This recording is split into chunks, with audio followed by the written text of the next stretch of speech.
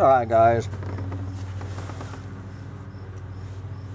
It is an absolutely spectacularly gorgeous day here in the collapse of everything on Sunday, August 6, 2023. So, uh, I am in the middle of sharing with you perhaps the single best article I have ever found in the mainstream media right here on today's Yahoo News. Never know where the Baptist Doomer article uh, will show up. So this is a long article and interview from Salon magazine titled Are Humans a Cancer on the Planet? A physician argues that civilization is truly carcinogenic and this excellent article which is required reading for any doomer trying to figure out the collapse of a planet is by this journalist who I've never heard of named Troy Farah. So Troy did an excellent uh, long introduction to this interview, which I shared in part one of this two-part video, but my camera was getting ready to collapse, so I made it part two. So we're just going to pick up kind of where we uh, where we left off, where uh, Salon Magazine and Troy Farah are dive taking a deep dive into the question: Are humans really like a virus, a pathogen, a cancer? Dr. Warren Hern, a Colorado based physician and author of the new book Homo ecophagus, a deep diagnosis to save the earth, argues that human civilization indeed has many similarities with cancer. This is not a metaphor, but rather a literal diagnosis and it can be addressed in the same way that an actual cancer diagnosis can be the first step to treatment. Salon recently spoke with Dr. Hern about his new book, which acts partially as a memoir, textbook, dire diagnosis, and poetic ode to a disintegrating planet discussing the, implica the implications for such an urgent prognosis, a new name for the human species that reflects our true nature and how we can still fix this crisis. This interview has been condensed and lightly edited for clarity.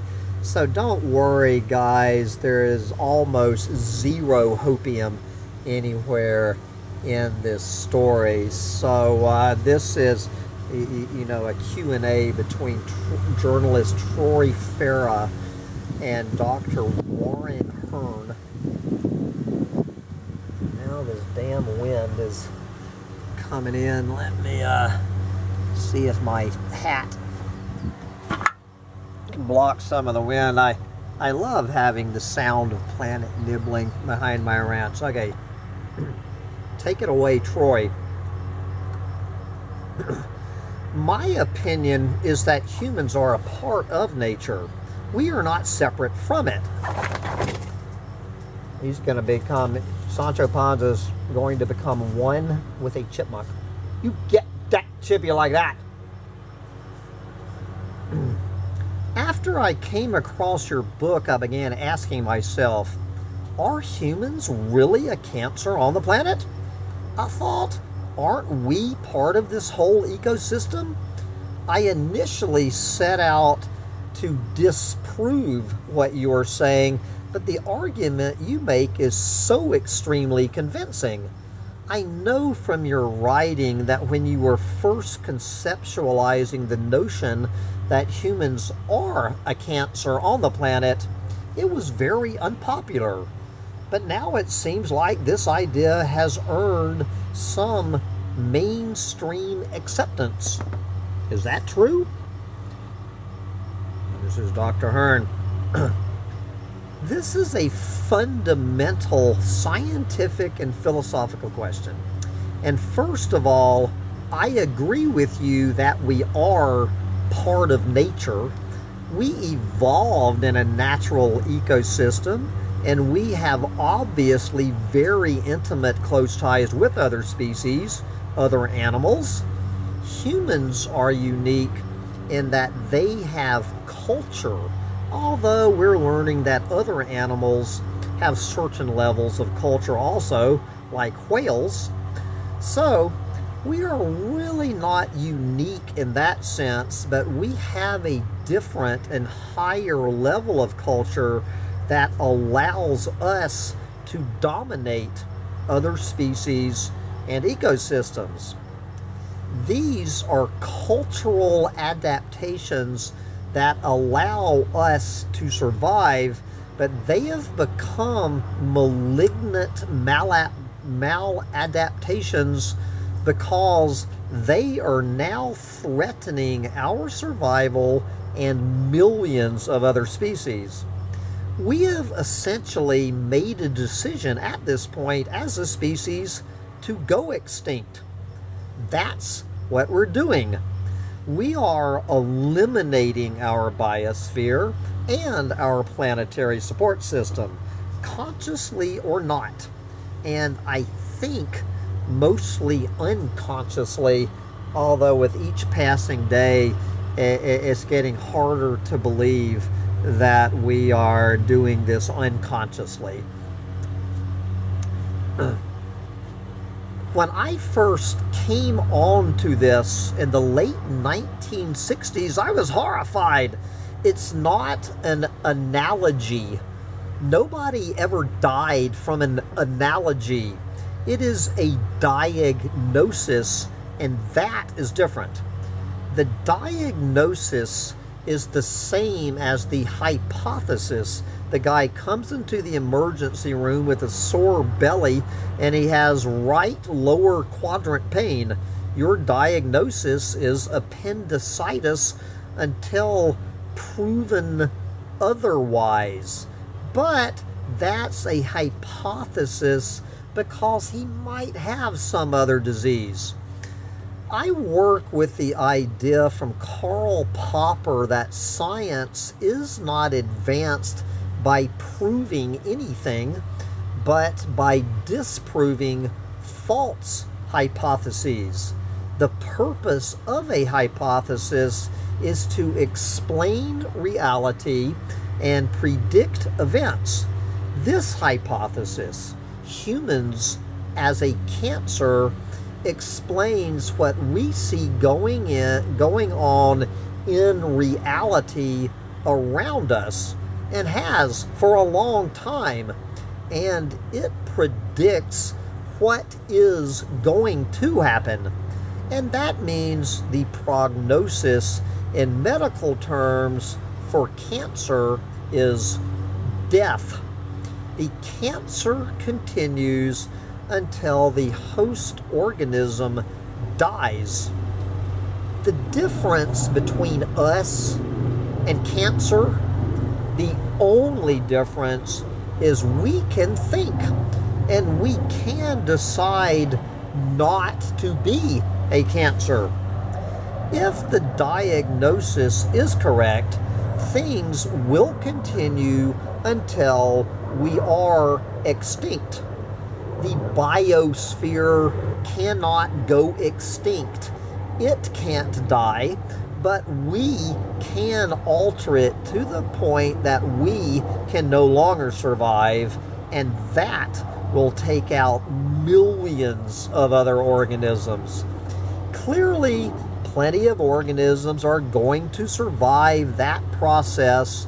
They might even be more intelligent than us. I don't know that's sort of the general picture. And whether people accept this or want to even listen to it is another thing. For example, in the book, I talk about the guy who took over the anthropology section at the American Association for the Advancement of Science back in the early 90s. He didn't like this idea and he wanted them to drop it from the schedule because his wife had cancer and he was very offended by it. I told him well, I'm really sorry that your wife has cancer, and I certainly hope she recovers. This does not have anything to do with your wife's cancer. Back to Troy. And uh, anyway, guys, we have the H word so many times that if I sit here and do my choking on hope, uh, it could double this uh, rant. So I'm going to forego to some of your relief the choking on hope uh, that we usually hear. So back to Troy. I hope people can see that because it's such a good diagnosis. I mean, it really does fit the bill. You look at maps of cities and tumors and you can see how they kind of grow similarly, but the similarities don't end there. Back to Dr. Hern. The basic premise is that humans have the capacity of developing culture, and that has millions of manifestations. Everything from language and speech and mathematics to constructing shelters, building weapons, and having medical care to keep us alive. These adaptations have allowed us to go from a few separate species of skinny primates wandering around in Africa a couple of million years ago to being the dominant ecological force on the planet to the point where we are changing the entire global ecosystem. These cultural adaptations have now become maladaptive. They do not have survival value. And they are, in fact, malignant maladaptations because they're increasing in a way that cancer increases. So this means that the human species now has all of the major characteristics of a malignant process. When I was in medical school, we had four of them that were identified. Rapid, uncontrolled growth, invasion and destruction of adjacent normal tissues, in this case, ecosystems, metastasis, which means distant colonization, and de-differentiation, which you see very well in the patterns of cities. That's only one example. We now have 10 or 15 other new characteristics of cancer and the human species fits all of them. And so the disturbing thing about this, if you have any two of just the first four characteristics of cancer, it is cancer until proven otherwise. And cancer does not stop until the host organism has ceased to function, which for our purposes is the biosphere. Now, I have given my book the name Homo ecophagus. That's spelled E C O P H A G U S. Homo ecophagus. That is my new name for the human species which currently has the scientific name of Homo sapiens sapiens, or wise, wise man, which makes us the most misnamed species on the planet. Homo ecophagus means the man who devours the ecosystem, and that is what we are doing. We are in the process of converting all, all plant, animal, organic, and inorganic material on the planet into human biomass and its adaptive adjuncts or support systems. The evidence for that is all around us. So that's the basic idea in a nutshell. And then the rest of the book is simply manifestations of this malignancy and an explanation of the analysis.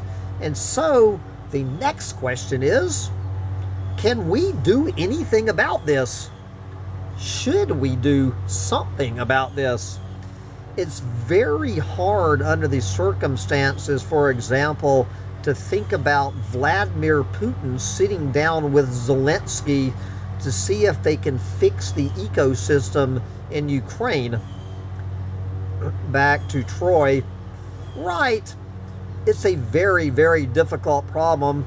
It is the biggest problem our society faces right now. Literally, nothing else matters if we do not address this problem, says Dr. Hern. That's the point. It is an existential crisis. Yes. Back to uh, Troy.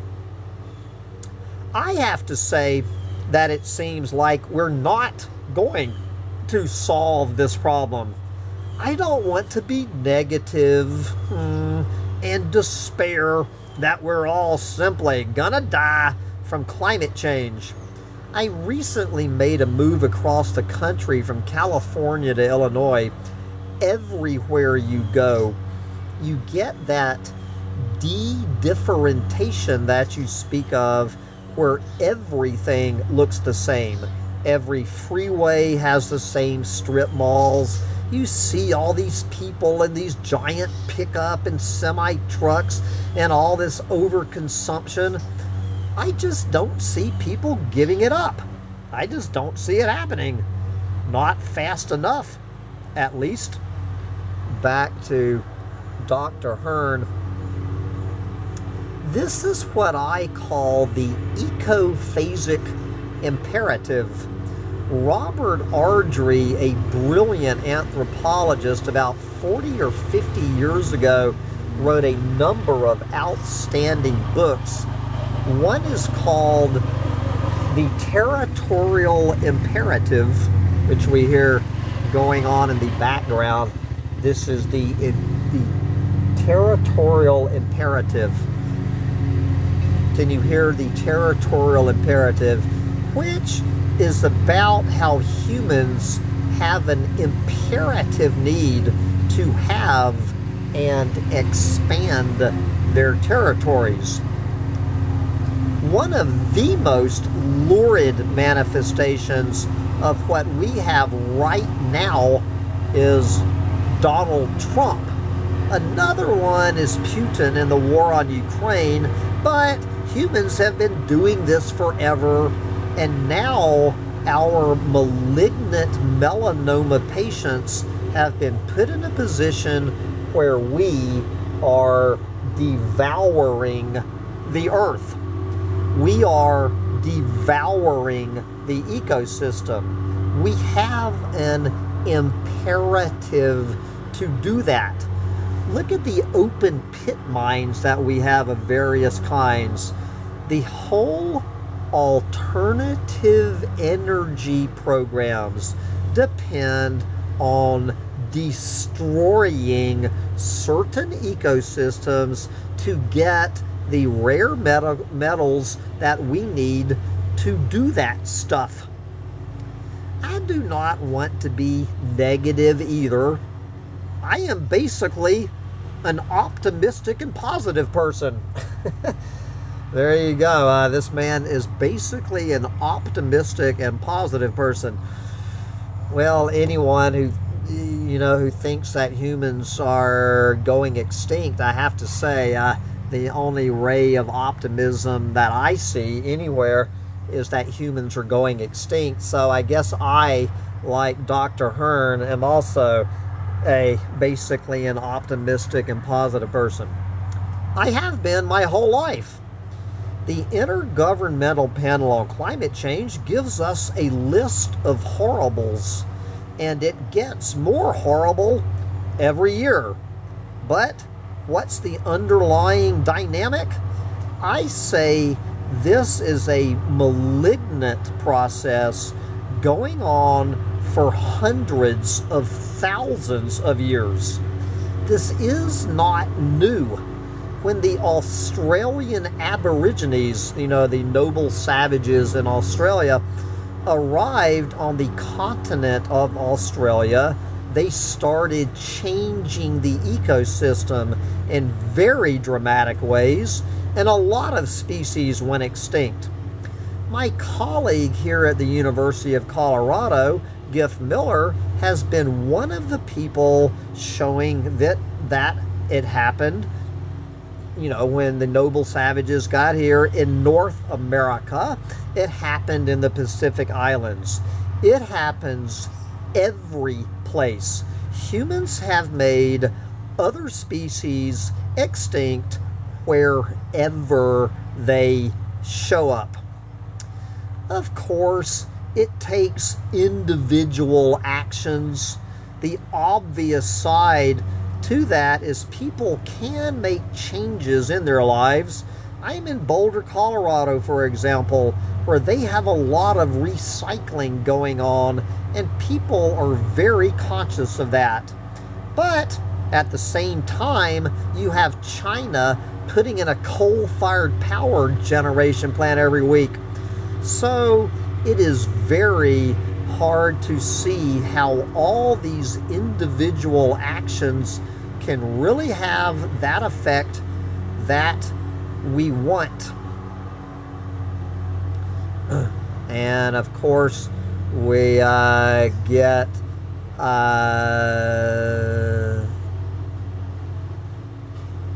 to the end, we uh, dredge up the hopium and Troy asks the question that's on everyone's mind do you have do you have hope for the future or maybe feel despair about everything I often get a little bit paralyzed and feel like there's no point to anything, like we're all just going to go off the cliff. I, you know, this is Troy speaking. Uh, I am hoping something will change, that something will shift on a major level, that we'll all kind of come together on this issue. Uh huh. But I feel like I've been waiting for that moment for years. So, how does Dr. Hern respond to this obvious question?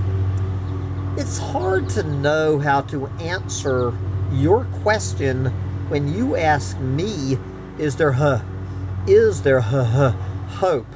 One of my main answers, which is true, is that young people like you give me hope.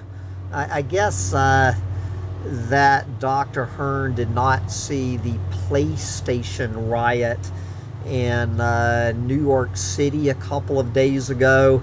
Yeah, young people. Uh, yeah, uh huh. Give him the H word. People who are looking at this stuff and thinking about it and figuring out what to do.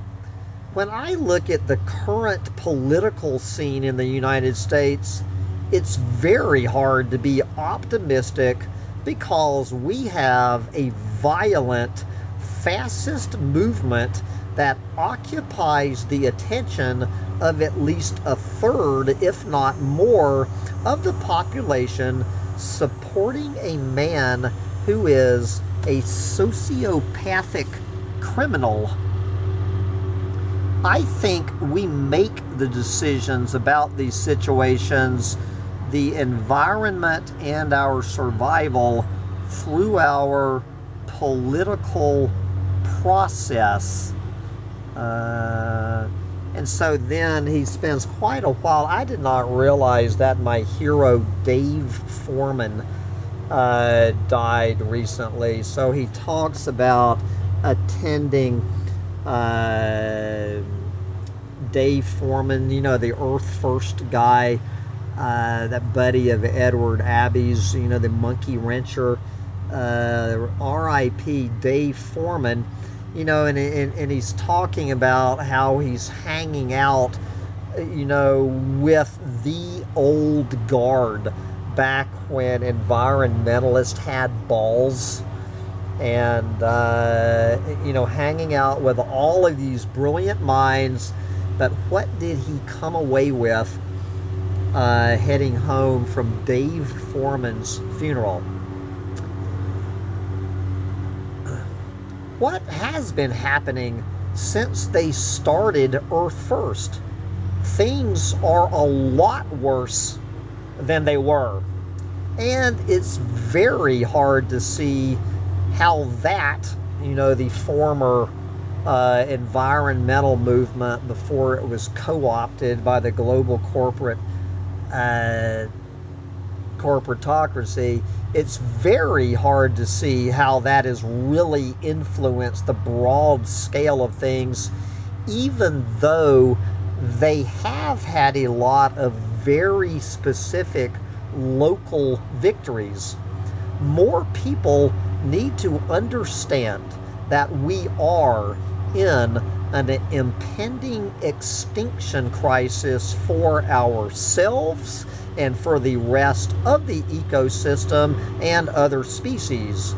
We are destroying the planet as we speak, as rapidly as possible, and that must stop. We must find ways to do things differently, and that's going to make big changes in our lives. Amen. Dr. Hern, let's see if I'm still talking. I don't believe it. The battery survived. So anyway, uh, get out there and I might actually have to read this book. Ecophagus, Homo ecophagus. The man that eats ecosystems. Uh, but anyway, it is such a gorgeous day and I have really got to get out there and be a human and exercise my territorial imperative to continue building. I'm building a uh, a loop trail through the forest here at Bugs in a Jar Farm for my vacation rental guest to get out there and enjoy it while they still can. Little dog, are you exercising your territorial imperative to rid Bugs in a Jar Farm of chipmunks?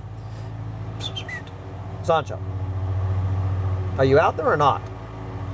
Anyway, get out there and enjoy exercising your territorial imperative as a cancer on this planet while you still can. My guys. Where is that dog? Sancho, are you getting that chippy or not? Bring your say, Pop. The chippy is in here. Look at this this excavation that uh Sancho, we have to go exercise our territorial imperative. You go, Pop, I am exercising my territorial imperative to tell that chippy he needs to go somewhere else.